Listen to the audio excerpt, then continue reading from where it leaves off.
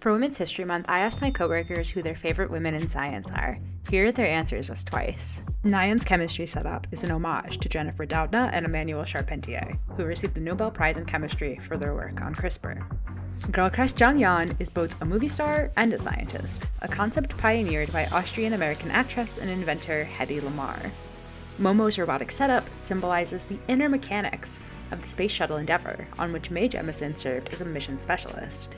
Sana, of course, is Rosalind Franklin, with two ladders behind her symbolizing Franklin's significant contribution to understanding the molecular structure of DNA. Jihyo's bleeding heart represents the work of Chinese American virologist Flossie Wong-Staal, who identified HIV as the cause of AIDS and enabled the development of HIV blood screening tests. Mina's computer like interface is an homage to the Harvard Computers, a group of women who computed, cataloged, and analyzed data to little fanfare despite their great contributions to astronomy. Dahyun's microscope is a shout out to American biochemist Marie Maynard Daly, the first African American woman to complete a PhD in chemistry in the United States. Chaeyoung's black and white set is a reference not to Frankenstein, but to imaging scientist Katie Bouman, whose work made the first visualization of a black hole possible. Tzuyu's Jellyfish Paradise is a nod to marine biologist Rachel Carson, a noted conservationist and great contributor to the global environmental movement.